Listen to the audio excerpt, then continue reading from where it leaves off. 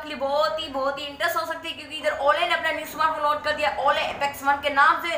दोस्तों, ये बहुत ही एक अच्छा स्मार्टफ़ोन है। दोस्तों, इसके आज मैं आपको सारे डिटेल से फीचर्स बताऊँगा। क्योंकि भाई मैं भी ओले का यूज़र हूँ, मैं भी ओले स्मार्टफ़ोन यूज़ करता हूँ।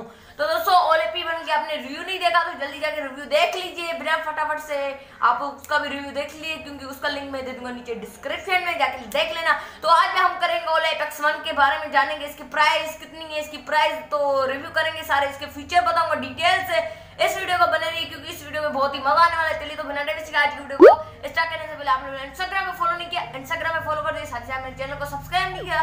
सब्सक्राइब करके बेल आइकन को प्रेस कर दिए क्योंकि मैं डेली वीडियो लाता रहता हूँ। और यार सब्सक्राइब इसलिए बोल रहा हूँ क्योंकि बहुत सारी अनबॉक्सिंग भी आने वाली है और बहुत सारे गिव भी होने वाले हैं। तो जल्दी से जाके अनबॉक्स मेरे चैनल को सब्सक्राइब कर लीजिए और इस वीडियो को आपने लाइक नहीं किया लाइक भी कर दीजिए शेयर कर दिए अपने दोस्तों का कि वो भी देख सकें ये वीडियो तो चलिए तो दोस्तों बिना डेविस के आज वीडियो को स्टार्ट करने तो दोस्तों ओले दोस्तों ने एपेक्स वन लॉन्च कर दिया अपना दोस्तों कैमरा से स्टार्ट जो कि बैक कैमरा है, वो आपको ड्यूल सेटअप कैमरा मिल जाती है, तेरह मेगापिक्सल की, जो कि एक बहुत ही अच्छी बात है। नीचे होने वाला एक फिंगर सेंसर है और ओले मैजिक होने वाली है नीचे तो बहुत ही एक अच्छी सा अच्छा लुक दे रहा है। तो फ्रंट साइड की बात की जाए, जैसे कि हमने जो कि एमआई का फ़ोन था एम आई मिक्स थ्री के और मिक्स टू था शायद हाँ मिक्स टू था कि वो उसके जैसा ये ओले एपेक्स वन बनाया गया है। दोस्तों बिग्जलेट डिस्प्ले दिया गया है इसमें, दोस्तों, आप देख सकते हैं, कहीं भी कैमरा नहीं कैमरा दी गई है नीचे।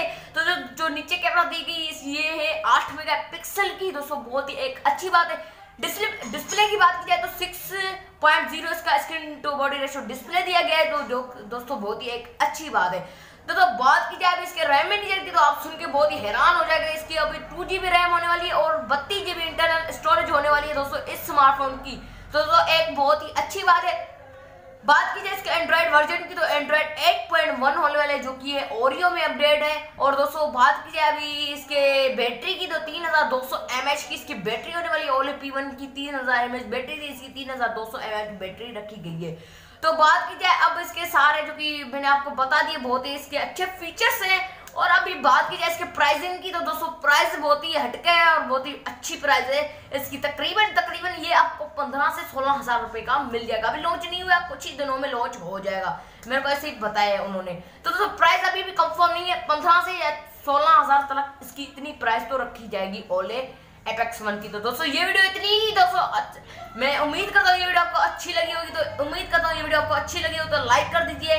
शेयर करना आपने दोस्तों सब्सक्राइब मेरे चैनल को करना मत ही भूलिएगा क्योंकि बहुत बहुत बहुत बहुत सारी अनबॉक्सिंग आने वाली है और बहुत बहुत बहुत गिव भी होने वाले हैं। चलिए तो सब्सक्राइब कर दीजिए मिनट्स में तो मेरे जो वीडियो आप देख रहे हैं ना, उसके लिए एक लाल कलर का सब्सक्राइब बटन आ जाएगा तो उसको प्रेस कर लेना।